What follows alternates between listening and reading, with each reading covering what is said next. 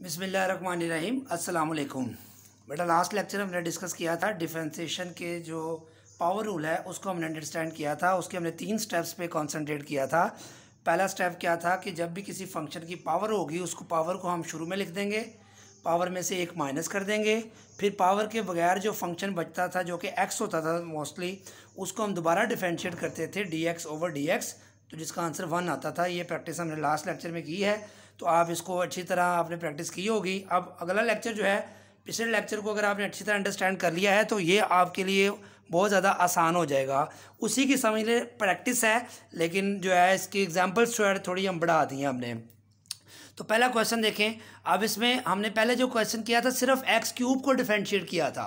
अब उसके साथ प्लस में एक और फ़ंक्शन आ गया एक्स केयर प्लस फाइव अब ये पूरी इक्वेशन है कोई। इसको हमने डिफ्रेंशिएट करना है विद रिस्पेक्ट टू एक्स अगर हम अकेले एक्स क्यूब को करते एक्स केयर को अलग करते तो वो पुराने रूल्स हैं जो हमने कल किए थे। अब हमने कहा है कि अगर ऐसी इक्वेशन आ जाए, ऐसा फ़ंक्शन आ जाए, जिसमें दो फ़ंक्शंस हैं, तीन फ़ंक्शंस हैं प्लस के साथ आ रहे हैं तो उसको डिफ्रेंशिएट कैसे करेंगे? बेटा रूल्स सारे सेम रहेंगे। सारे जो हमने पहले पढ़े हैं पावर को पहले लिखना पावर में से एक माइनस करना, फिर पावर के बगैर फ़ंक्शन को दोबारा से डिफ्रेंशिएट करना। ये तीन ही रूल बार बार अप्लाई होते रहेंगे। अब differentiate with respect to x करें तो d y over d x अब रूल ये है कि बेटा आपके पास इसको आपने अलग से डिफ्रेंशिएट कर लेना है फ़ंक्शन को प्लस के साथ इसको अलग से डिफ्रेंशिएट करना है और इसको अलग से डिफ्रेंशिएट करना है। यानी कि वो जो क्वेश्चन हमने एक एक किया था, वो समझ लिया, वो तीन, दो क्वेश्चन तीन क्वेश्चन बन के इकट्ठे एक ही क्वेश्चन में आ गए हैं। तो तरीकाकार क्या होता है? हम लिखते हैं d y over d x change in y with respect to change in x तो चेंज इन वाई का मतलब है वाई की जगह उसकी वैल्यू लगाओ एक्स क्यूब अब वाई इसके भी बराबर है प्लस एक्स के प्लस फाइव तो हमने इस तरफ़, हर तरफ़ अलग अलग डिफ्रेंशिएट कर दिया। डिफ्रेंशिएशन की अभी नोटेशन लगाई है हमने अभी डिफ्रेंशिएट किया नहीं है। अब मैंने बताया था, पहले हम ऑपरेटर लिखते हैं, फिर बाद में उसको ऑपरेट करते हैं। जब ऑपरेट करते हैं, फिर वो जो ऑपरेटर है, वो ख़त्म हो जाता है। जैसे कि देखें यहाँ पे। पावर को पहले लिखा, आपको याद है, पहले लिखते हैं हम। पावर में से एक माइनस किया थ्री माइनस वन आ गया। और पावर के बगैर फ़ंक्शन किया x d x over d x ये हमेशा ही वन आता है हमने देखा है बार बार लेकिन लिखना ज़रूर है, हमने प्रैक्टिस कर रहे हैं। आज हम डिस्कस करेंगे ये दोबारा लिखने का कि क्या वजह है, वो भी अगली एग्जाम्पल्स में देखेंगे।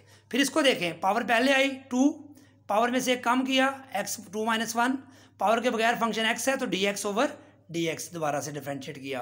प्लस ये फाइव है।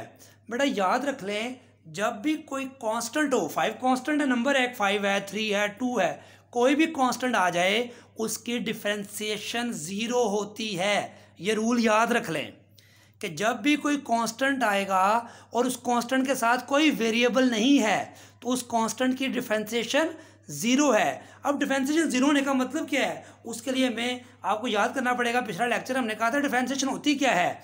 Change in one variable with respect to change in other variable यहाँ एक्स को चेंज करने से फाइव में क्या चेंज आएगी? फाइव में तो कोई चेंज नहीं आ सकती क्योंकि फाइव वेरिएबल है ही नहीं। तो इसलिए बेटा याद रख लें, ये नीचे मैंने लिख दिया है कि change in constant with respect to x is zero क्या मतलब? कि कांस्टेंट में कोई चेंज आ ही नहीं सकता, क्योंकि कांस्टेंट है। वेरिएबल में चेंज आना है तो डिफ्रेंसिएशन क्या होती है?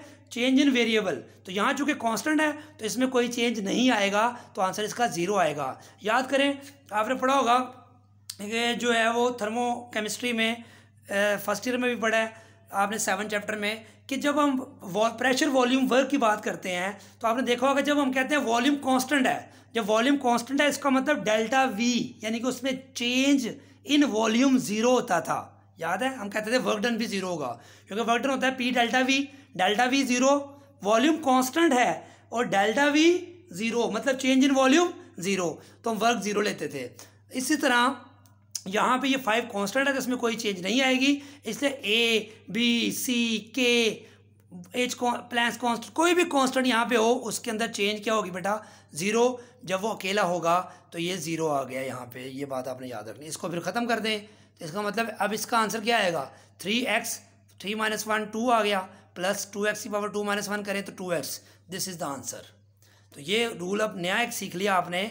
जब भी कोई कांस्टेंट अकेला होगा ठीक है, ये बात याद रखनी, अकेला होगा। जब कोई कांस्टेंट किसी वेरिएबल के साथ होगा, जैसे कि अगले क्वेश्चन में है, बल्कि ये अगले क्वेश्चन में नहीं है, ये अगर कोई जो कांस्टेंट है, वो किसी वेरिएबल के साथ आएगा, जैसे क्वेश्चन हमने पहले किए हैं, जैसे ये देखें, यही क्वेश्चन है बल्कि, ये फाइव है। अब ये फाइव भी कांस्टेंट है, लेकिन ये वेरिएबल के साथ मल्टीप्लाई हो रहा है तो यहाँ इसको बाहर लिखेंगे, ये ज़ीरो नहीं होगा। हम डिफ्रेंसिएशन इसकी करेंगे यानी कि चेंज एक्स में आएगा फाइव वैसे ही साथ उसके बा, बाहर आ जाएगा। तो ये एग्ज़ाम्पल है जिसमें कांस्टेंट वेरिएबल के साथ मल्टीप्लाई हो रहा है जबकि यही एग्ज़ाम्पल है जिसमें कांस्टेंट अकेला भी आ रहा है। तो इस कांस्टेंट में चेंज बेटा क्या होगी? ज़ीरो जबकि इस फाइव को साथ ही लिखेंगे ये मल्टीप्लाई होगा पावर के साथ। तो ये बात याद रख लें हमने नई बात क्या सीखी? जब कांस्टेंट अकेला होगा तो उसके अंदर चेंज ज़ीरो आएगी। जब कोई कांस्टेंट किसी वेरिएबल के साथ आएगा तो फिर वो मल्टीप्लाई होगा, वो ज़ीरो नहीं होगा। तो दूसरा क्वेश्चन देखें जो इसकी एग्जांपल है five x cube plus x four plus a differentiate करेंगे तो हम क्या करेंगे, जब फ़ंक्शन जमा हो रहे हो तो सबको अलग अलग डिफ्रेंशिएट करेंगे। तो हमारे पास जो है वो डी ओवर डी एक्स इसके साथ अलग आएगा डी ओवर डी एक्स इसके साथ अलग आएगा डी ओवर डी एक्स इसके साथ अलग आएगा। यानी कि d y over d x तो पता ही आपको लगाना ही लगाना है। वाई की जगह ये सारी वाई है। तो ये वाई के साथ अलग भी आ जाएगा, इसके साथ भी आ जाएगा, इसके साथ भी आ सकता है। तो अब अलग अलग डिफ्रेंशिएट करें। पावर पहले आएगी, आपको पता ही है, ये प्रैक्टिस हम कल वाले लेक्चर में कर चुके हैं। फाइव थ्री पावर पहले आ जाएगी पावर में से एक कम करेंगे, बाकी सारे रूल वही हैं। फिर पावर के बगैर फ़ंक्शन एक्स है तो d x over d x तो फाइव थ्री था फिफ्टीन एक्स की पावर थ्री माइनस वन करेंगे टू आ जाएगी। तो d x over d x में शाह की तरह वन नहीं आएगा। इस तरह इधर देखें पावर फोर पहले आई पावर में से एक कम किया फोर माइनस वन तो उसकी पावर थ्री आ गई। तो d x over d x one आएगा हमेशा। और ये d a over d x मैं बता चुका हूँ, जब कॉन्स्टेंट अकेला होगा तो उसमें चेंज नहीं होती। इससे डिफ्रेंसिएशन ज़ीरो होने का मतलब change in a with respect to x is zero no change in a इसका ये मतलब है। तो ये इसका आंसर आ गया। तो इस एग्ज़ाम्पल में, दो एग्जाम्पल्स में हमने कॉन्स्टेंट की बात की। एक कॉन्स्टेंट है, ये इसकी डिफ्रेंसिएशन ज़ीरो होगी। अगर ये कांस्टेंट वेरिएबल के साथ आएगा तो फिर वो मल्टीप्लाई होगा पावर के साथ। अब तीसरी एग्जांपल देखते हैं। अब ये एग्जांपल्स हम जो करेंगे, ये केमिस्ट्री पॉइंट ऑफ़ व्यू से करेंगे। ये हमने जो एग्जांपल्स की हैं, ये बेसिक मैथ को अंडरस्टैंड करने के लिए की है मैथमेटिक्स की एग्जांपल्स के साथ जनरल एग्जांपल के साथ। अब ये a minus x a minus x square a minus x cube two pi x square pi r square one over t square ये हम बात करेंगे फिजिक्स हो, चाहे केमिस्ट्री हो, उसमें इस तरह की जब टर्म्स आएँगी तो उसमें हम डिफ्रेंसिएशन किस तरह से करेंगे। तो तरीकाकार सेम वही होगा differentiate with respect to x तो पहले हम लगाएँगे d y over d x सबको पता है वाई की जगह ये वाई की जगह वैल्यू आ गई ए माइनस एक्स तो यहाँ भी आप ऐसे ही कर सकते हैं, पहले पूरे ब्रैकेट लगाकर डी ओवर डी एक्स लगाएँ, फिर over d over d x को इसके साथ अलग कर दें, इसके साथ अलग कर दें, इसके साथ अलग कर दें. जैसे कोई नंबर किसी ब्रैकेट के बाहर हो तो उस ब्रैकेट के बाहर जो नंबर है, उसको फिर सारों से क्या करते हैं? मल्टीप्लाई करते हैं. तो यहाँ देखिए इसकी एग्ज़ाम्पल ये भी आप सीख सकते हैं कि पहले डी ओवर डी एक्स पूरे के साथ लगा लें आप. फिर अगले स्टेप में d a over d x अलग कर दें d a x d x over d x अलग कर दें, यानी कि ए को अलग कर दें और एक्स को अलग डिफ्रेंशिएट कर लें। तो इस तरह भी आप इसको कर सकते हैं। अगली एग्जांपल हम सारी ऐसे ही करेंगे। अब ये कांस्टेंट है। ए क्या है? बता चुका हूँ मैं कांस्टेंट है, ये याद रख लें आप। ये हमें पता होगा पहले से कि एक कॉन्स्टेंट है। यहाँ फाइव माइनस एक्स भी कर सकते हैं टू माइनस एक्स भी कर सकते हैं। टू हो फाइव हो, उसमें चेंज बेटा क्या होगी? ज़ीरो ये मैं पहले ही आपको बता चुका हूँ। अब d x over d x भी हम हर सवाल में तकरीबन तकरीबन हमने बीस, बाईस सवाल किए हैं। हर एक में d x over d x का आंसर हमने क्या लिया हमेशा? वन तो ये हमारे पास d x over d x one आ गया। तो ये माइनस इसके साथ आ गया। Minus one is the answer of this question ये माइनस वन याद रख लेना आपने कि इसका आंसर आता है। फिर a minus x whole square आ गया। है अब जब फ़ंक्शन ब्रैकेट के साथ पूरी पावर आ जाए तो पहले इस पर क्या लगाएँगे हम? Power rule power rule power rule याद रख ले। अब पहले इसको ए को अलग नहीं कर सकते एक्स को अलग नहीं कर सकते। ठीक है? और ना ही a minus x whole square को आपने ओपन करना है a square plus x square minus two a x इसको बेटा ओपन हमने नहीं करना। हमने पावर को, जैसे इस पूरे ए माइनस एक्स को आपने यही समझ लें एक्स की पावर टू है। तो क्या करते हैं? पावर को हमेशा पहले लिखते हैं हम। पावर को टू को पहले लिख लिया। अब इसको एज इट इज़ लिखना पूरे को। और पावर को टू माइनस वन कर देना है। अब पावर के बगैर पहले फ़ंक्शन होता था एक्स पावर के बगैर पहले बेटा क्या फ़ंक्शन होता था एक्स तो उसको आप दोबारा डिफरेंशिएट करते थे d x over d x अब पावर के बगैर जो फ़ंक्शन है बेटा, वो ए माइनस एक्स है। पावर खत्म करें तो क्या बचता है एक्स नहीं ए माइनस एक्स तो अब पहले हम एक्स को दोबारा डिफरेंशिएट करते थे तो लिखते थे d x over d x अब बेटा ए माइनस एक्स को दोबारा लिखेंगे डी ओवर डी एक्स के साथ। ये पॉइंट अब नया सीख रहे हैं आप कि पहले आपने देखा बीस बाईस सवाल जो हमने किए, उसमें हमने पावर के बगैर फ़ंक्शन हमेशा एक्स होता था, हमारे सारे सवालों में। तो हम लिख देते थे d x over d x अब हमारा ये क्वेश्चन आ गया है कि पावर के बगैर फ़ंक्शन एक्स नहीं है। पावर को हटा के देखें तो पीछे क्या बचता है? ए माइनस एक्स तो जब ए माइनस एक्स बचेगा तो ए ओवर माइनस एक्स को दोबारा डिफ्रेंशिएट करने का मतलब डी ओवर डी एक्स जैसे ये डी ओवर डी एक्स यहाँ लगाया हुआ है। समझ लें, नया क्वेश्चन बन गया समझ लें ये। नया क्वेश्चन बन गया है। क्वेश्चन के बाद एक नया क्वेश्चन उसके अंदर ही आ गया है। अब इसको सॉल्व करने का तरीका फिर वही है कि आप ए को अलग डिफ्रेंशिएट करें और एक्स को अलग से करें, जो हम पिछले एग्ज़ाम्पल में सारे तफसील से कर चुके हैं।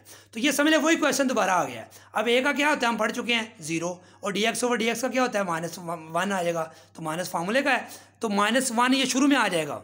माइनस वन बेटा, शुरू में आ जाएगा तो ये माइनस टू हो जाएगा, ये टू माइनस वन वन आ जाएगा तो two into a minus x ये माइनस वन शुरू में आया तो two minus two into a minus x is the answer ये बात क्लियर होगी बेटा सबको? इसकी एक और प्रैक्टिस करते हैं। अब ए माइनस एक्स की होल क्यूब है तो differentiate with respect to x करेंगे तो पहले डी ओवर डी एक्स सारे के साथ लिखेंगे, फिर ये समझ लें पूरा ये एक्स ही है सपोज़ कर लें। तो पावर को शुरू में लिखेंगे थ्री अब ये चूँकि पूरा एक्स ही है तो एज इट इज़ लिखेंगे ए माइनस एक्स की पावर थ्री माइनस वन यानी कि पूरा फ़ंक्शन ए माइनस एक्स है। तो हमने तो रूल ये सीखा था ना पावर नीचे आ जाएगी, शुरू में कॉफिशेंट नीचे नहीं, शुरू में आ जाएगी पावर में से एक माइनस करेंगे फ़ंक्शन पूरा वैसे ही रहेगा। फिर पावर के बगैर फ़ंक्शन बचता है ए माइनस एक्स जैसे यहाँ भी ए माइनस एक्स बचा था। तो उसको दोबारा से डिफ्रेंशिएट किया d into a minus x over d x यहाँ भी ऐसे किया था d into a minus over d x तो अब d a over d x अलग हो गया सेम उसी तरह d x over d x तो ये कट के वन हो गया। ये इसकी ज़ीरो होती है, हमने पहले पढ़ लिया है। तो ज़ीरो माइनस वन, फिर माइनस शुरू में आ जाएगा। ये थ्री एज इट इज़ आ जाएगा थ्री माइनस वन टू आ गया। तो ये दिस इज़ द आंसर ये माइनस शुरू में आ गया। तो आप ये बात सीख लें कि आपके पहले जो बीस बाईस क्वेश्चन में हमने d x over d x one आता था, लेकिन यहाँ चूँकि पावर के बगैर फ़ंक्शन एक्स है ही नहीं है, वहाँ फ़ंक्शन सारा सिंपली एक्स पर मुश्तमिल होता था। अब फ़ंक्शन में आता है ए माइनस एक्स तो ए माइनस एक्स को एज इट इज़ दोबारा डिफ्रेंशिएट करेंगे। दोबारा डिफ्रेंशिएट करने का मतलब बेटा ये है कि आपका एक नया क्वेश्चन बन गया है। तो ये d into a minus x over d x जो है, समझ ये वही क्वेश्चन है जो ये लिखा हुआ है। तो इसको आपने जैसे तीन स्टेप में सॉल्व किया, उस पर दोबारा आप वही रूल अप्लाई करेंगे। इसको अलग से डिफ्रेंशिएट करेंगे, इसको अलग से करेंगे। बस इसमें पावर वाला कंसेप्ट नहीं होगा। पावर वाला भी हो सकता है अगर इस एक्स के साथ भी अगर पावर होती, लेकिन चूँकि नहीं है, इसलिए इसको सिंप्लीफिकेशन के साथ हम कर रहे हैं तो ये इसका आंसर आ गया, ठीक है? अब ये क्वेश्चन है नया। ये a minus x cube a minus x ये काइनेटिक्स में यूज़ होते हैं। अब टू पाई एक्स केयर एक फ़ंक्शन है। आपको पता है टू भी कांस्टेंट है पाई भी कांस्टेंट है। तो differentiate with respect to x तो टू पाई क्या आएगा? शुरू में आ जाएगा, सबको पता है। तो डिफ्रेंशिएशन किसकी करेंगे? वेरिएबल की। तो डी ओवर डी एक्स अब ये टू पाई की डिफ्रेंशिएशन ज़ीरो लिख सकते हैं? बेटा नहीं लिख सकते। क्या बताया था मैंने? कि जब कांस्टेंट किसी वेरिएबल के साथ होगा तो वो मल्टीप्लाई होगा। जब अकेला होगा, जैसे कि यहाँ पे अकेला था ए तो इसकी डिफ्रेंशिएशन ज़ीरो है। यहाँ अकेला था तो ज़ीरो है। यहाँ ये ए अकेला है तो इसकी डिफ्रेंशिएशन में ज़ीरो आएगा। तो बाकी तरीका वही है। टू पावर पहले आ गई पावर में से एक माइनस किया। अब देखिए पावर के बगैर फ़ंक्शन एक्स है तो हमने फिर d x over d x लिखा है। लेकिन यहाँ हमने ए माइनस एक्स क्यों लिखा? क्योंकि पावर के बगैर फ़ंक्शन ए माइनस एक्स है। यहाँ पावर के बगैर फ़ंक्शन एक्स है। तो ये बात आपने याद रखनी है d x over d x फिर वन हो जाएगा। अब देखिए, यहाँ d x over d x लिख रहे हैं। ये प्रैक्टिस इसलिए करवा रहे हैं, आप जेन में रखें कि दोबारा डिफ्रेंशिएट करना ही पड़ता है। लेकिन जब आपकी बहुत ज़्यादा प्रैक्टिस हो जाती है, जब आप एक्सपर्ट हो जाते हैं डिफ्रेंसिएशन के तो फिर बार बार आपको d x over d x लिखने की ज़रूरत नहीं पड़ती। ये इसलिए करवाई जा रही है प्रैक्टिस, क्योंकि पहले अब सीख रहे हैं। जब हम सीख रहे होते हैं लर्निंग प्रोसेस में होते हैं तो पहले सारे स्टेप हमने कंप्लीट करने होते हैं। तो इसलिए इसको पूरा कर रहे हैं। तो जब आप एक्सपर्ट हो जाएँगे, फिर ये d x over d x बार बार नहीं लिखना पड़ेगा, और ये पावर टू माइनस वन मैंने लिखा है, ये भी नहीं करना पड़ेगा, आप डायरेक्ट लिख लेंगे। ये टू है तो वन लिख देंगे। यहाँ थ्री है तो आप डायरेक्ट टू लिख दें थ्री माइनस वन ना लिखें। यानी कि जब आप एक्सपर्ट हो जाते हैं, जैसे ये पावर थ्री है तो पता थ्री शुरू में आ गया है तो थ्री माइनस वन लिखने की ज़रूरत नहीं डायरेक्ट आप टू लिख दें। ये दो स्टेप आप एक स्टेप कम भी कर सकते हैं। जैसे ये थ्री है तो थ्री शुरू में आ गया थ्री एक्स केयर इसका आंसर आ गया। ये टू शुरू में आ गया टू एक्स की पावर वन इसका आंसर आ गया। तो तीन तीन स्टेप आपको करने पड़ते हैं शुरू में, जब आप अंडरस्टैंडिंग कर रहे होते हैं। तो ये आंसर आप आसानी से कर सकते हैं। टू इंटू टू बेटा क्या हो जाएगा? फोर पाई एक्स की power two minus one x आ गया, ये वन आ गया। अब ये पाई आर स्केयर है। अब मैं वेरिएबल चेंज कर रहा हूँ। पहले बार बार हम एक्स की प्रैक्टिस कर रहे हैं एक्स की बात हम कर रहे हैं। अब हम कहते हैं कोई वेरिएबल रेडियस भी तो हो सकता है ना। ठीक है, कोई एरिया है पाई आर स्केयर तो y is equal to pi r square differentiate with respect to r देखिए, जो वेरिएबल होता है, उसके रिस्पेक्ट से हमने डिफ्रेंशिएट करना है। तो अगर आर वेरिएबल है तो हम लिखेंगे differentiate with respect to r तो d y over d x लिखेंगे या डी आर तो बेटा डी आर लिखेंगे। क्योंकि डी आर क्यों लिखा? यहाँ सब में डी एक्स क्यों लिखा था? क्योंकि यहाँ क्या लिखा था? Differentiate with respect to x differentiate with respect to x differentiate with respect to x क्योंकि यहाँ एक्स वेरिएबल था, यहाँ आर वेरिएबल है। तो हम आर के रिस्पेक्ट से डिफेंशिएट करेंगे। तो यहाँ दूसरी तरफ़ क्या लिखते थे? D over d x d over d x d over d x तो यहाँ क्या लिखेंगे? D over d r d over d r अब तो रूल वही है पावर पहले आ जाएगी। पावर ये पाई कॉन्स्टेंट है, शुरू में आ गया। टू शुरू में आया टू में से एक माइनस किया। अब पावर के बगैर एक्स नहीं है आर है तो d r over d r जैसे d x over d x one होता था, इस तरह d r over d r भी वन होगा। तो टू पाई आर की power two minus one one आ जाएगी तो ये आपका आंसर आ गया। सेम इस तरह क्वेश्चन में रेट देखें y is equal to one over t square है। अब वेरिएबल टेम्परेचर है अगर वॉल्यूम है तो उसमें टेम्परेचर पे डिपेंडेंट होगा।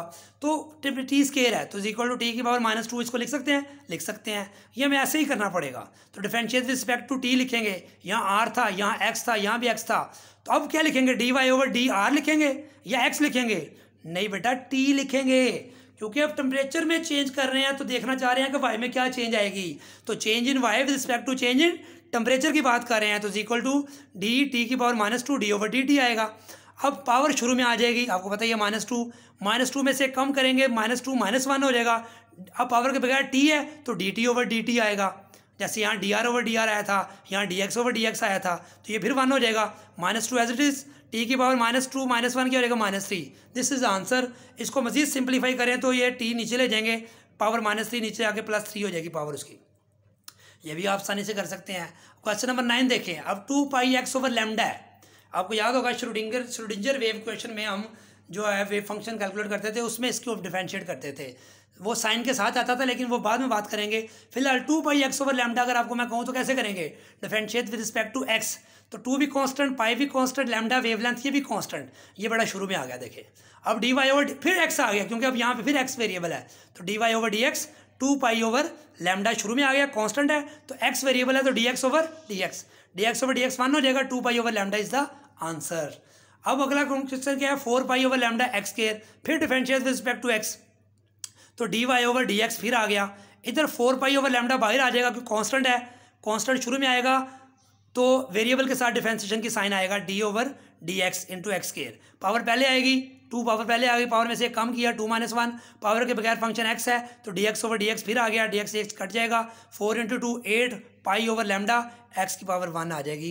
And this is the answer तो बेटा, आज के जो क्वेश्चन हमने सीखे हैं डिस्कस किए हैं, इसमें आपने देखा है कि हमने पावर रूल की मज़ीद प्रैक्टिस की है।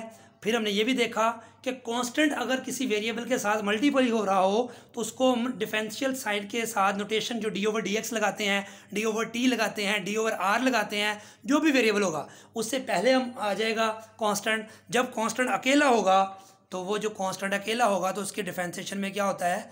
ज़ीरो होती है। तो ये बात आप याद रख लें। ये प्रैक्टिस करें इसकी। ये जो है डिफेंसेशन का हमारा तकरीबन जो है वो तीसरा लेक्चर है। ठीक है इन ताला एक दो लेक्चर और हमारे लगेंगे तो डिफ्रेंसिएशन में हम एक्सपर्ट हो जाएँगे, फिर हम इंटीग्रेशन की तरफ़ जाएँगे। जब हम डिफ्रेंसिएशन में एक्सपर्ट हो जाते हैं तो फिर इंटीग्रेशन ऑटोमेटिकली हमें समझ आसानी से आ जाती है, क्योंकि इंटीग्रेशन जो है वो डिफ्रेंसिएशन का उलट है। यानी कि जो रूल हम इसमें अप्लाई करते हैं इंटीग्रेशन में इसके उलट रूल अप्लाई करेंगे, इसलिए डिफ्रेंसिएशन का आना हमें बहुत ज़रूरी है इंटीग्रेशन को अंडरस्टैंड करने के लिए। तो इसकी आप प्रैक्टिस करें, इसको सारा एक दफ़ा नोट कर लें, एक दफ़ा अंडरस्टैंड करें, इन्हीं क्वेश्चंस को दोबारा करें तो आपकी प्रैक्टिस होगी, नए क्वेश्चन आपको करने की ज़रूरत नहीं है। दुआओं में याद रखिएगा practice makes a man perfect जितना प्रैक्टिस आप करेंगे, एक बच्चा एक दफ़ा लिखेगा तो वो इतना एक्सपर्ट नहीं होगा। जितनी दफ़ा ज़्यादा इसकी प्रैक्टिस करेंगे आप बायो वाले स्टूडेंट स्पेशली क्योंकि ये बायो वालों के लिए ही है, जिन्होंने बच्चों ने पहले एफएससी में प्री मेडिकल के साथ किया हुआ है, उसके बाद वो फ़र्स्ट सेमेस्टर में फ़िज़िकल पढ़ हैं, या फोर्थ में पढ़ हैं, या फिफ्थ में पढ़ हैं सिक्स में पढ़ हैं, उनके लिए ये बड़ा हेल्पफुल है। उन टीचर्स के लिए जो कि एमएससी को फ़िज़िकल पढ़ा रहे हैं, लेकिन उनका बैकग्राउंड मेडिकल के साथ है उनको बच्चों को डायरेक्ट वो कह देते हैं, बेटा, इस स्टेप को रटा लगा लें, इसको आप याद कर लें, इसको डायरेक्ट याद कर लें। उससे भी उनकी जान छूट जाएगी। आठ से दस लेक्चर अगर आप कंसनट्रेशन के साथ सुन लें तो मुझे उम्मीद है कि बायो वाले टीचर भी इसमें एक्सपर्ट हो जाएँगे। अल्लाह हाफिज़।